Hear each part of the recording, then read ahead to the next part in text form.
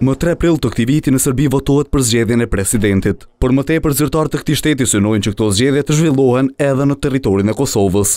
Madje nevojën për mbajtjen e zgjedhjeve në Kosovë, drejtori i Zyrës për Kosovën në Qeverinë serbe Petar Petkoviq e theksoi edhe gjatë një vizite në Berlin. Në një postim në Twitter, ai po ashtu ka thënë se Serbia është e shqetësuar nga aktet destruktive të Prishtinës, të cilat po e dëmtojnë sigurinë e serbëve në Kosovë.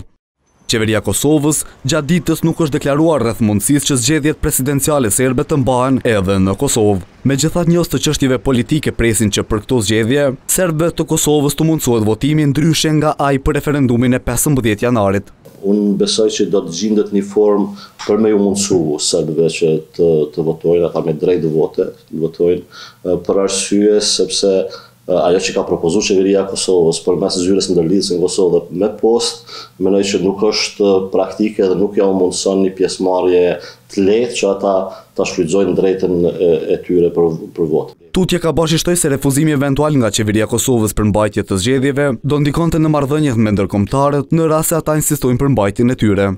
Sigurisht se do të jetë një hap tutje në mosbesimin që partnerët tanë kanë me pas me, me, me Qeverinë Kurti në aspektin e bashkëpunimit, të partneritetit.